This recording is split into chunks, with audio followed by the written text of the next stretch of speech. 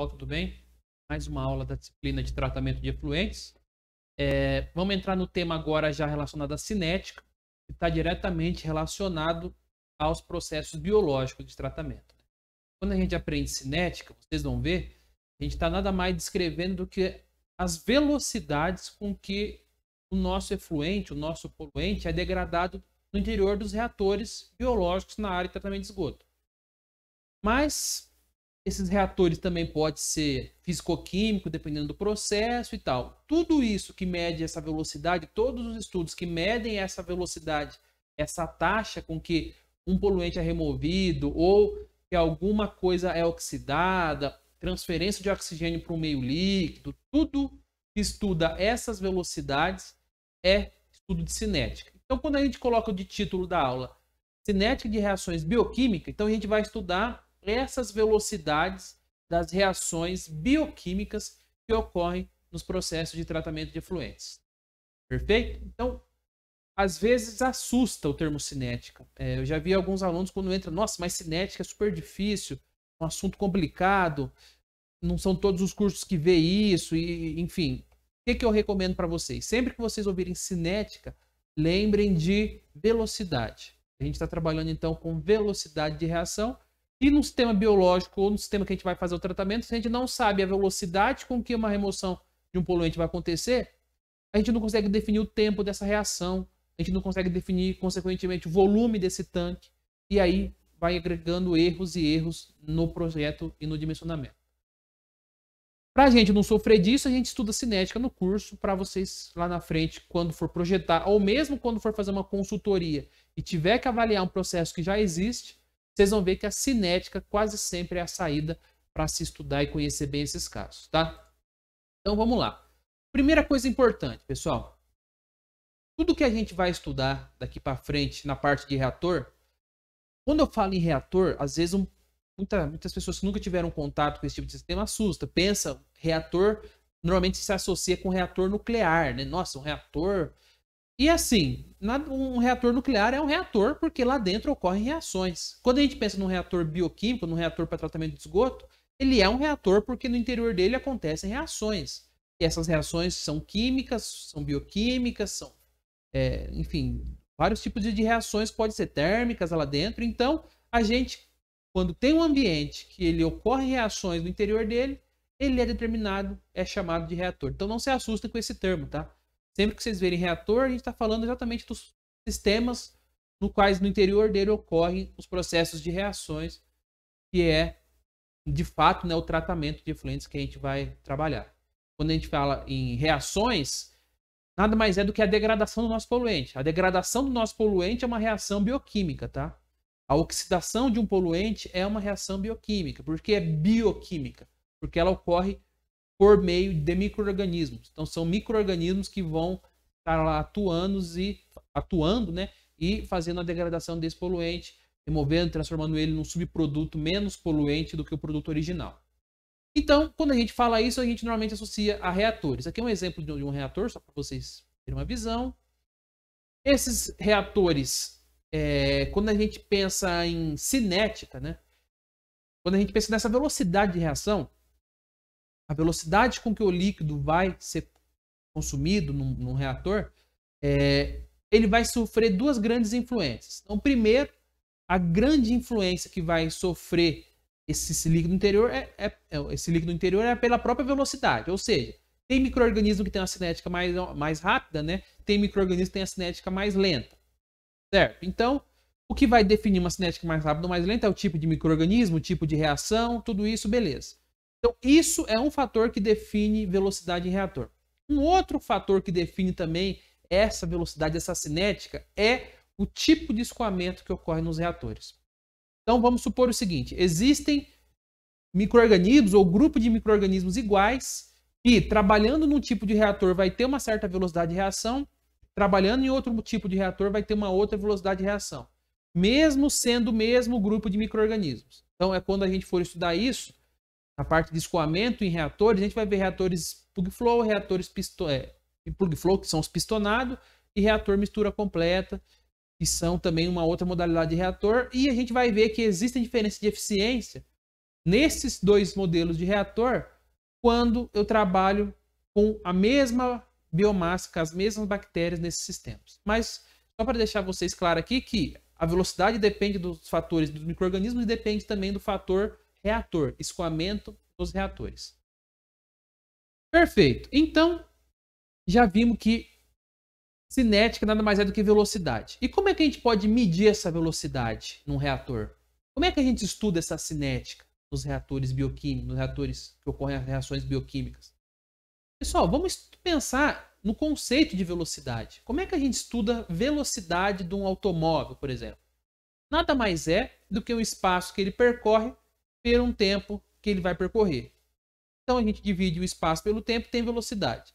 E quando a gente pensa em velocidade de uma reação, o sentido é mais ou menos parecido. Nada mais vai ser do que ah, quanto que degradou da, de um tempo zero até um tempo t. Ah, degradou delta S. Degradou um valor delta S, certo? Em quanto tempo? Em t. Ou seja, quando eu divido o que degradou pelo tempo que demorou para degradar, eu tenho uma velocidade de degradação. E isso é a cinética. Olha que coisa mais difícil que você pode imaginar e não é. E por que que às vezes pode ser um pouco difícil? Porque para reatores essa velocidade ela não ela na verdade ela pode não ser constante como eu acabei de falar para vocês, que ah, basta dividir velocidade pelo tempo. Não, ela pode ter comportamento diferente. Porque quando ela é constante, ela segue esse modelo, né? Bom, velocidade delta S, delta T, eu tenho uma reação aqui que é uma reta, eu tiro ali a inclinação da reta e acho a velocidade, certo? Mas existe também reatores em que eu tenho variação da velocidade conforme vai passando o tempo. Ou seja, num determinado tempo eu tenho uma velocidade e conforme vai passando o tempo essa velocidade pode aumentar ou essa velocidade pode diminuir. Aí já não é mais fácil calcular essa velocidade do jeito que a gente viu. Mas também não é um absurdo esse cálculo, tá, pessoal? Então, e existem também outros modelos cinéticos que a gente vai ver nessa disciplina também, que são reações de saturação, que fala o seguinte: ah, para determinada situação, meu reator se comporta uma, como se a velocidade fosse constante, igual a gente acabou de falar. Já em outras situações, meu reator tem essa velocidade que varia conforme vai diminuindo, aumentando o tempo, ou a concentração de substrato, enfim.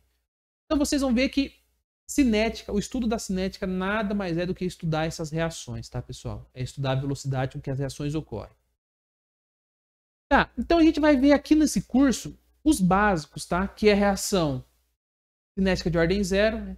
cinética de primeira ordem e reações de saturação. Então, o que, que é uma cinética de ordem zero?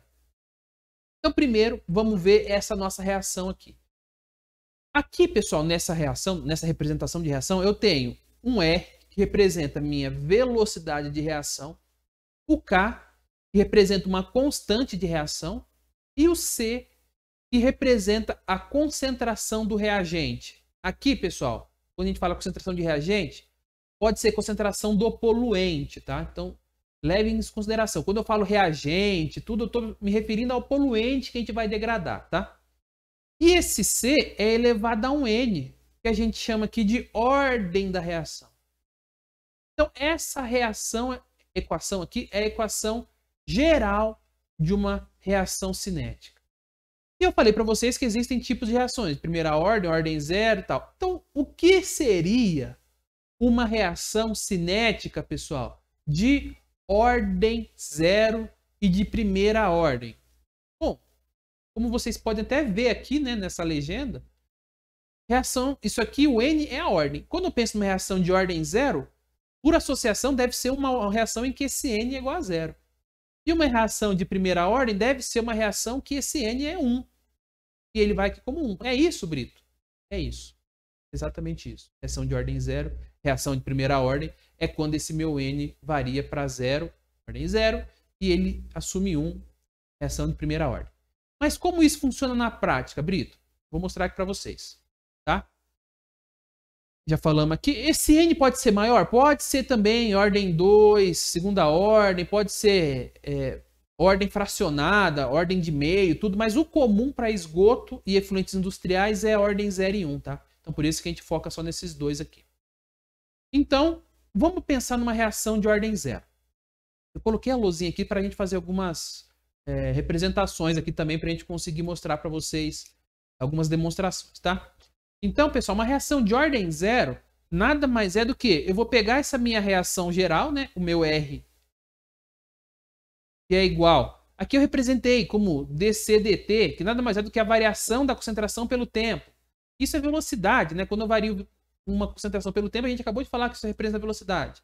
É igual, pensando que eu vou estar tá consumindo um poluente, quando eu estou pensando em degradação, normalmente eu estou consumindo, já entra na equação de velocidade um sinal negativo, que é um sinal de consumo.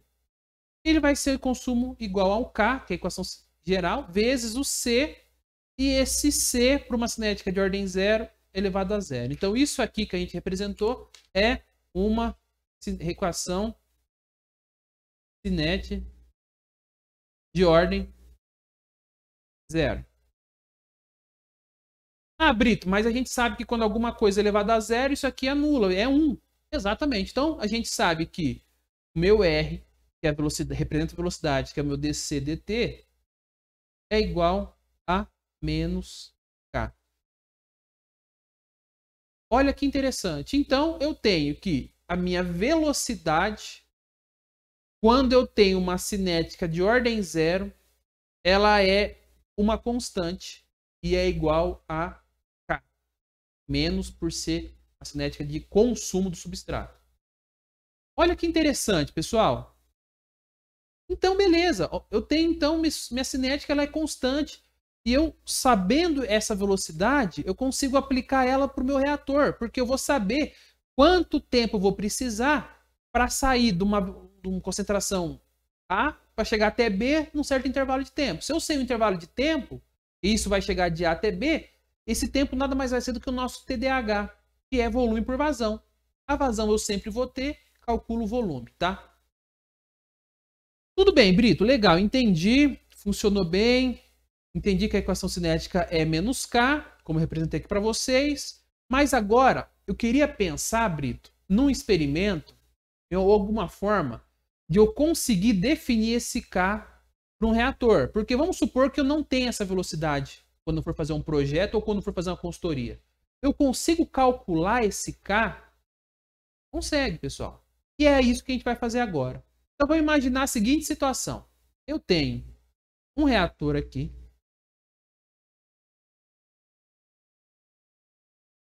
Esse meu reator vai estar sob agitação e ele está no tempo T0. E dentro dele tem uma certa concentração de substrato, né? Que eu vou chamar de CS0, ou seja, concentração de substrato inicial. Depois de um certo período de tempo, eu vou nesse reator ter uma outra situação, que meu agitador, esse tempo já vai ser um tempo T ou T1, vou chamar de T, mais de T1. E aqui dentro dele vai ter uma concentração que a gente vai chamar de CS, que foi a concentração que passou depois desse determinado período de tempo, certo? Nada demais, pessoal. Uma reação dentro de um reatorzinho. Coloquei aqui, depois de um certo tempo ficou C. E sabendo sempre que o meu CS ele vai ser menor do que o meu CS0, porque estou consumindo meu poluente. Então, para esse caso, é uma reação de consumo. Certo. Como é que a gente pode calcular essa velocidade, então? Vamos fazer o seguinte, vamos pegar dessa equação que a gente tem aqui, desse, vou por CS, que é o que a gente está calculando, por dt, ela é igual a uma constante menos k. Vamos integrar isso aqui, depois a gente faz o integral para esse intervalo de tempo que a gente trabalhou. Então, beleza. Integrando isso aqui, olha como que é simples. Eu vou ter, então, que meu dcs é igual a menos k vezes dt. Aplicando aqui a integral do CS, que vai do zero ao S mesmo, né? Vamos chamar de S, que é o valor lá no final. Integrando aqui o meu tempo, que a gente chamou de zero a 1. A 1, né? T1, a gente chamou de 1 na equação. Então, isso aqui vai ficar como essa integral? Vai ficar CS menos CS0 é igual menos K vezes T menos T0. Esse T0, como é no começo do processo, a gente pode chamar ele de zero. Então, integrando aqui vai dar T1 menos zero. Ou o tempo total da reação menos zero. Chegando finalmente que o meu CS vai ser igual. Vou jogar o CS0 para lá. CS0 menos K vezes T. Nesse meu caso aqui é o T1, mas numa situação geral, que esse T aqui meu pode ser qualquer um, eu vou chamar de um T geral também T. E a gente tem aqui a equação que representa uma cinética de ordem zero. Pessoal, isso aqui é uma equação de reta. Consegue ver, ver isso, pessoal? Isso aqui é uma equação de reta. Se isso aqui é uma equação de reta, facilmente eu consigo fazer um experimento pegando, por exemplo, conforme vai passando o tempo, eu faço um gráfico. Vamos supor que eu monte esse experimento aqui. Eu, esse experimento que eu montei aqui, eu monto ele na prática. Então aqui vai ser tempo e aqui vai ser concentração CS. Eu começo meu experimento no zero. Lá no zero eu tenho uma concentração CS, aqui em cima, CS0. Conforme vai passando o tempo, como isso aqui é uma reta, então em uma hora, sei lá, o tempo 1, eu vou ter um certo concentração C1.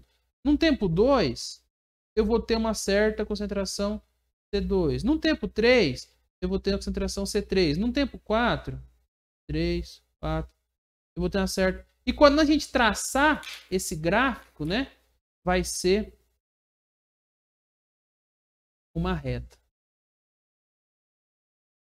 E nessa reta, a inclinação dela vai ser igual ao meu menos k, que é o meu, a minha constante cinética de velocidade. Olha que louco. Fiz um experimento simples e consegui definir com esse meu experimento simples a minha velocidade. Definindo essa velocidade, vamos supor que eu quero fazer um outro experimento agora em uma outra água residuária de um outro reator. Só que eu sei que o meu K desse reator é igual, mas a minha concentração é muito maior do que esse meu CS0. Tudo bem, se você tem já a equação cinética, basta a gente jogar. Vamos supor que esse meu CS0 muda. Não tem problema. Esse meu eu conhecendo ele e sabendo qual que é o valor final que eu quero de CS, eu acho o tempo total de reação que eu vou precisar. Achando esse tempo, esse tempo aqui nada mais vai ser do que o meu TDH do reator. Que é igual ao volume por vazão. Olha como está tudo conectado, pessoal. Eu acho pela cinética o K e esse meu K depois, para qualquer água residuária, eu consigo saber o tempo que eu vou precisar de reação. E esse tempo nada mais é do que o TDH, volume por vazão. A vazão eu sempre vou ter, como a gente viu nas primeiras aulas. Defino o volume de um tanque. Um tanque de uma lagoa, volume do reator que eu quero projetar. Simples demais, não é, pessoal? E se a, gente, se a gente quiser traçar um gráfico aqui do lado, vou traçar para vocês verem, que relaciona a concentração de substrato com a minha velocidade, que eu vou chamar aqui de RS, que é a minha velocidade de consumo de substrato, o que, que acontece com a minha velocidade de reação quando muda a minha concentração de substrato? Nada. Porque conforme o teu substrato está caindo, o teu K não muda, ele é o mesmo nesse ponto, nesse ponto, nesse ponto, nesse ponto, nesse ponto. Ou seja, quando eu tenho um gráfico que mostra velocidade pelo consumo, eu tenho uma reta. E essa reta aqui é o meu valor de K negativo. Ô Brito, se você quiser fazer um gráfico também, fazer aqui embaixo pequenininho, da minha concentração, da minha velocidade também, né, do meu RS, pelo tempo. Tudo bem. O que, que acontece quando passa o tempo? Nada. A tua velocidade ela mantém constante. Então você vai ter também um gráfico e a velocidade ela é menos k constante conforme eu vou alterando tanto a concentração quanto vai passando o tempo. Certo, pessoal? Então, é o que a gente tem aqui no próximo slide. Aqui eu mostrei para vocês. Aqui eu estou dando um exemplo dessa constante, né? e mostrei para vocês os dois gráficos que a gente acabou de fazer. Integramos aqui, né? Para a gente chegar na, na equação cinética com a integral. Quando eu tenho a variação pelo tempo, quando eu tenho a variação pelo tempo, e quando aqui no, no slide não tem a variação pela concentração, mas aqui eu já mostrei para vocês como é que é esse gráfico. Ele é muito importante, tá? Ele vai ser muito importante para a gente esse gráfico aqui. Ô Brito, beleza. Cinética de ordem zero, não tenho dúvida. Ficou bem tranquilo de entender. E se for primeira ordem? Pessoal, se for primeira ordem, o entendimento é igual. Por que é igual? Vamos fazer aqui. Se for primeira ordem, eu tenho que meu RS, que é meu DCS dt, ele é igual a menos K que multiplica C ordem 1, na primeira ordem, elevado a 1.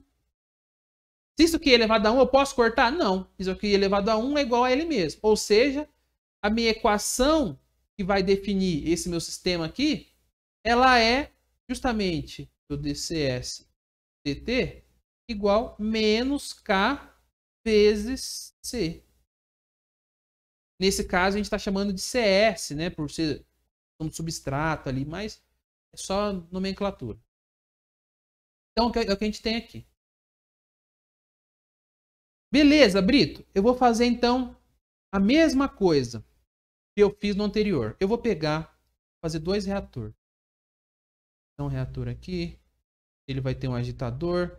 Ele está num tempo igual a zero, que é no começo. E aqui ele tem uma concentração CS.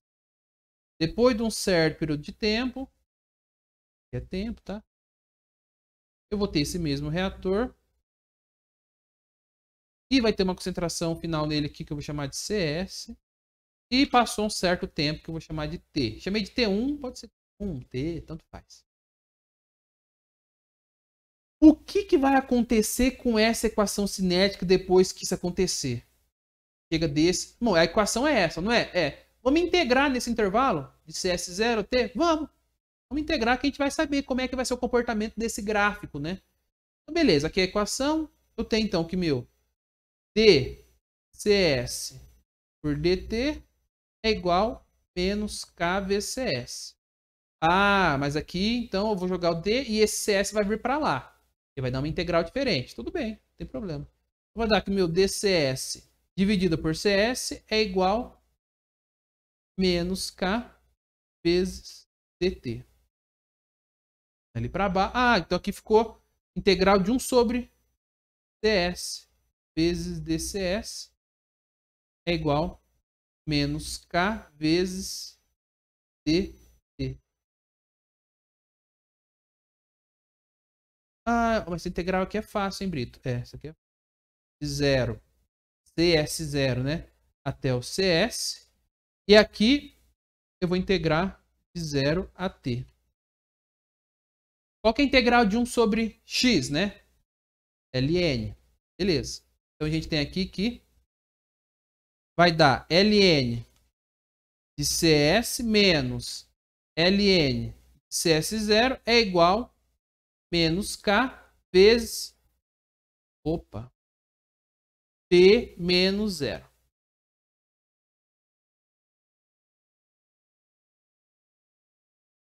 Aqui a gente vai colocar em evidência. Lembra quando tem subtração, posso colocar um sobre o outro? Então vamos colocar ln de cs dividido por cs0 vai ser igual menos k vezes t. Eu vou aplicar exponencial para tirar esse ln aqui, tá? Então, eu vou ter que cs dividido por CS0 é igual exponencial de menos K vezes T. Para isolar meu CS, então, eu vou ter que CS é igual a CS0 vezes exponencial de menos K vezes T. Olha que interessante, pessoal. Já não é uma reta já não é uma reta, é uma exponencial decrescente. Se é uma exponencial decrescente, quando eu faço esse meu ensaio aqui, que tipo de gráfico isso vai me gerar? Vamos ver aqui. Se eu fizer um gráfico em que variar o tempo e aqui variar a concentração de CS, vai me dar alguma coisa assim. No tempo 0 aqui, no tempo 1 um aqui, no tempo 2 aqui, no tempo 3 aqui, no tempo 4 aqui e assim por diante. Ou seja, vai me gerar esse modelo de gráfico aqui. Esse modelo de gráfico, então, é o que vai ser gerado. Ah, Brita, então eu vou ter para cada pontinho desse uma certa velocidade. Ou seja, a minha velocidade de reação, como a gente viu aqui no começo, ela não é mais constante. Ela vai depender do que? Da minha concentração. Ou seja, ela não é mais uma reta, ela é uma curva. E essa curva, como vocês podem observar, quanto menor for a minha concentração, mais lenta é a minha velocidade. Porque para cada pontinho desse vai ter uma velocidade. Aqui foi mais rápido nesse trecho, vai diminuindo a velocidade. Conforme vai passando o tempo, minha velocidade vai reduzindo. Ou seja, conforme vai tendo menos valor de CS, conforme vai tendo menos substrato ali, a minha velocidade diminui. Ela não é mais constante. Ô, então a gente pode gerar aquele outro gráfico, né? Que relaciona CS com a minha velocidade, né? O meu RS? Pode. Como eu falei para vocês, a minha velocidade ela não é mais constante. Ela vai variar. Ela vai ser menor quanto esse CS meu for menor. Ou seja, se eu tenho um valor aqui de velocidade para baixo valor de CS, vai ser um valor baixo de velocidade. Se eu tenho altos valor de CS, vai ter alto valor de velocidade. Então, vai ser uma reta nesse sentido. Olha que interessante. E agora a pegadinha. E se eu faço esse mesmo gráfico, só que no eixo X eu coloco o tempo e aqui a minha velocidade, o que, que acontece com a velocidade quando passa o tempo? Vai ficando mais lenta. Ou seja, a minha velocidade diminui conforme passa o tempo. E conforme diminui o CS, ela diminui também. Já esse gráfico para ordem zero, ele era uma constante. Porque não muda a velocidade em função da concentração. Certo? Primeira ordem, a minha velocidade ela é função da concentração. Menos concentração, menos velocidade. E conforme vai passando o tempo, minha velocidade fica mais lenta também. Perfeito? Tenho aqui nos slides para depois vocês estudarem essas equações. E minha velocidade instantânea, ela vai ser aquele ponto da tangente, né? A gente faz a, a, derivada na, na, tangente aqui, de qualquer ponto dessa, dessa curva, e a gente tem a velocidade em cada instante do nosso sistema. Olha que bacana, pessoal. A velocidade caindo com o tempo, mostrei para vocês. E o meu gráfico, né? Esse gráfico aqui seria da minha equação, que é dessa equação aqui, esse gráfico, que vai dar esse exponencial decrescente. Pessoal, tudo bem, né? Acho que não tem grandes problemas. Algumas informações, só para vocês deixarem anotadas aí. É... A cinética, ela vai ser de primeira ordem quando eu penso em transferência de oxigênio para o meio líquido. Normalmente, esse tipo de cinética é uma cinética que se, que se comporta como cinética de primeira ordem. Eu tenho para esgoto sanitário normalmente ordem zero ou primeira ordem, se for um efluente mais complexo ou tiver alguma mistura industrial. E aqui eu falei para vocês, na né? alta concentração do poluente, normalmente eu tende a ter velocidades mais altas, constantes, conforme vai tendo redução dessa concentração, tende a reduzir um pouco, dependendo do efluente que você está a tratar. E baixas velocidades são obtidas com baixas concentrações, porque pensa na, na lógica, você tem reduzidas. É, o que é mais fácil de degradar, né, o material mais simples de degradação já foi embora no comecinho. Então, no final, depois que passa um tempo, você tem baixas concentrações, menores concentrações, vai acabar sobrando aquilo que é de difícil degradação. E aí você tem velocidades maiores para degradar esse composto que é mais difícil. Certo? Tudo bem, pessoal? Beleza. É, temos 30 minutos de vídeo, mas agora eu não quero mais falar de aula, tá? Quero falar de um churrasco. E parece uma brincadeira, mas funciona bem para a gente entender grande parte dos problemas que, as, que acontecem nas estações de tratamento de esgoto. Por exemplo, vamos supor que eu faça a seguinte situação. Fazendo um churrasco para a turma da ambiental e nesse churrasco eu vou convidar 20 alunos. Então, nesse churrasco, convido 20 alunos. Infelizmente, o pessoal vai ficar bravo comigo, vou ficar muita gente fora. Mas, enfim, é 20 alunos. E eu preciso comprar carne. E eu defini que vai ser meio quilo de carne por aluno, porque vai ser volta da pandemia, o pessoal vai estar louco para se alimentar. Então, a gente vai comprar meio quilo de carne por aluno. Ou seja, qual que é o total de carne que eu vou comprar para esse churrasco? O total de carne vai ser de 20 alunos meio quilo por aluno 10 quilos. E vamos fazer um churrasco também num sábado à noite, mas como eu vou estar presente, eu tenho um filho pequeno, a gente tem que fazer um churrasco que não vai demorar tanto tempo, tá? Infelizmente, vai começar 7, 8, 9, 10, 11 e acabar meia-noite. Então esse churrasco ele vai das 19 horas até as 23, 59, ou seja, meia-noite, né? Esse intervalo de tempo que eu quero falar para vocês é de 5 horas. Certo? Beleza. Pessoal, parece um churrasco. Mas isso aqui é cinética, a gente vai estudar. Por quê? Vamos estudar. Vamos supor que todas essas minhas contas façam sentido. Eu quero saber qual que é a velocidade com que o nosso churrasco acontece. E eu vou medir isso em função da velocidade de consumo de carne. Pô, Brito, você podia ter feito no consumo de cerveja.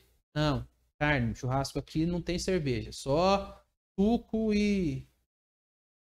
Não é no... na carne mesmo. Olha que interessante que a gente vai ter então. Eu quero saber a velocidade do churrasco. E vai ser função do consumo de carne. Certo? Então essa minha velocidade eu vou chamar de RS também. E como é que eu calculo? Ah, se eu tenho então 10 quilos de carne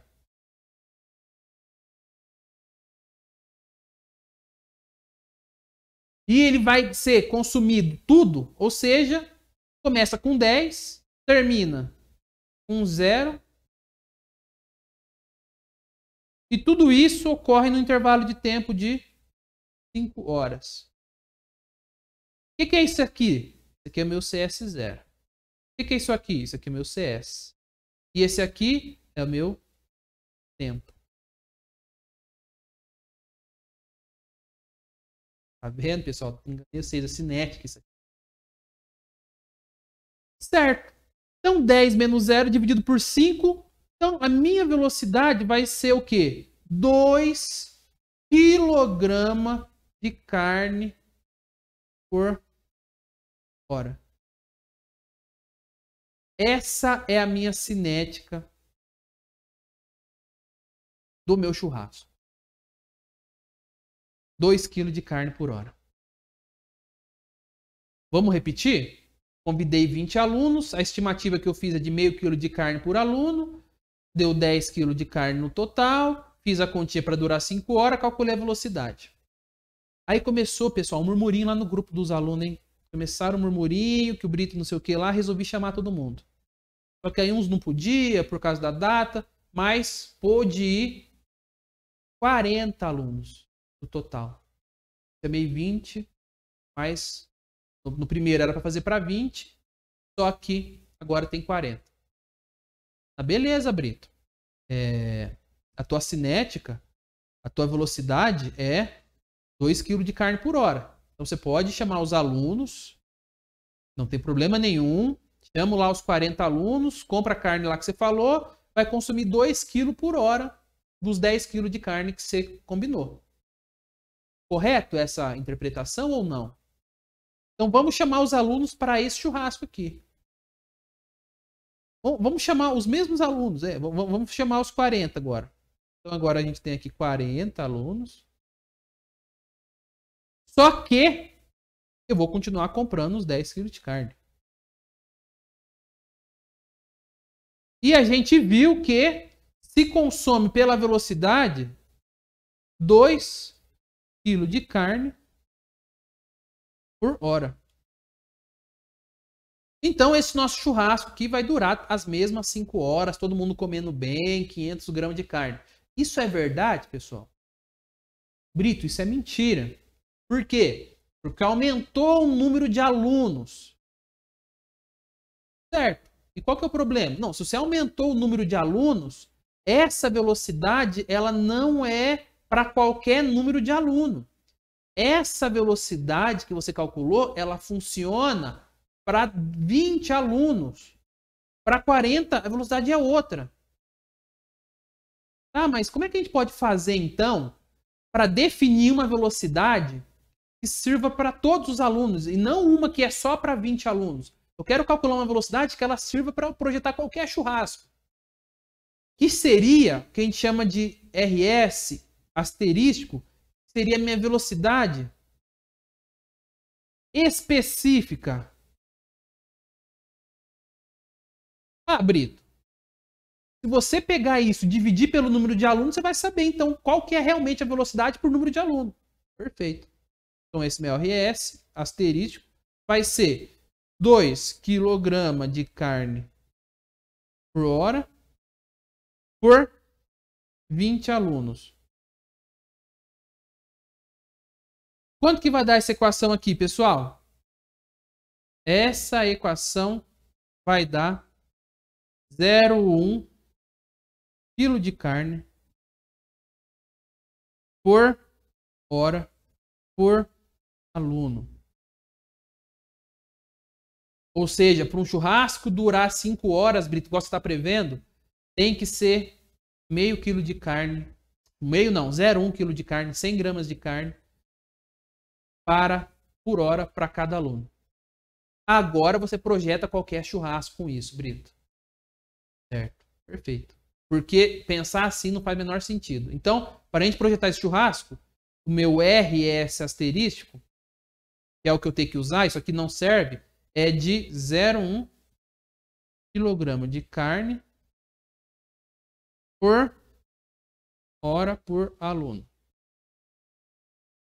Ah, mas eu quero calcular então para 40 alunos. Como é que, é que eu calculo meu RS? Certo? Então, o RS para 40 alunos vai ser 0,1 kg de carne dividido por hora por aluno vezes 40 alunos corta aluno com aluno, então vai dar o meu RS igual a 40 vezes 1, 4 kg de carne por hora.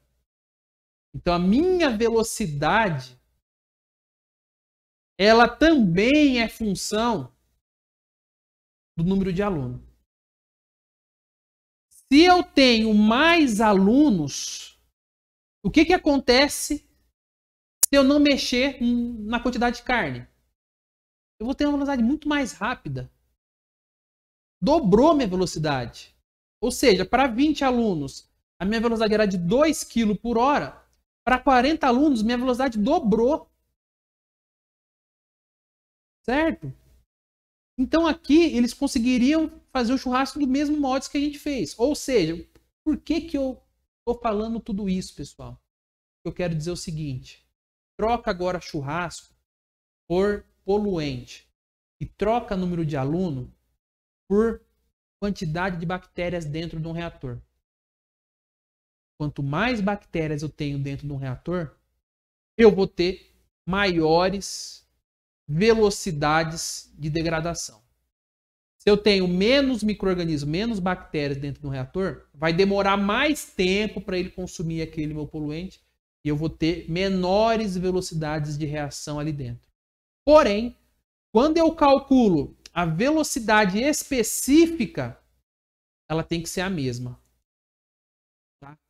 Tanto para poucas bactérias no reator, quanto para muitas bactérias no reator.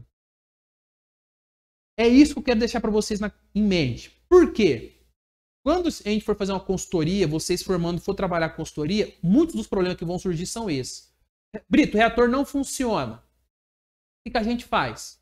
Tá tudo projetado certinho, não funciona. Normalmente está relacionado à quantidade de bactérias que tem no reator. Teve algum processo que matou as bactérias e elas não estão crescendo mais e você tem poucas bactérias. Por quê? O tempo de detenção foi projetado para elas estar atuando corretamente. O volume está certinho, tudo certinho, mas não está funcionando. Ou você aumentou demais a carne do churrasco, né? a concentração de poluente, e aquela população que está lá não dá conta de consumir tudo no tempo que você determinou, vai reduzir a eficiência do teu sistema, ou a população do teu sistema, né, o número de alunos lá presente, diminuiu e você vai ter mais tempo, vai precisar de mais tempo para consumir aquilo lá. Uma das duas situações vai ocorrer. E quando a gente trabalha avaliando então a questão de churrasco, faz essa brincadeira, é para ficar na cabeça de vocês o seguinte: eu faço o estudo cinético, faço o cálculo e vejo que deu uma velocidade geral, eu tenho que calcular específica. Com a específica eu consigo projetar qualquer outro sistema. Certo? E para deixar vocês então resolvendo um exercício e assimilar essa ideia, eu vou projetar esse exercício que vai estar no slide também e eu vou deixar a resolução para vocês no nosso slide. Depois desse slide aqui eu vou deixar para vocês a resolução. Certo? Exercício muito simples e a gente vai trabalhar alguns conceitos aqui relacionados a essa variação da concentração de poluente, concentração de biomassa no reator e tudo mais. Então, pessoal, é, nossa aula, essa aula fica por aqui, já deu tempo suficiente aí do limite da aula. Na próxima aula a gente vai ver um pouquinho mais de cinética de um outro aspecto, que são reações de saturação, e também vamos resolver alguns exercícios. Eu vou passar para vocês algumas coisas um pouquinho mais complexas relacionadas à cinética, tá? Muito obrigado, até a próxima aula.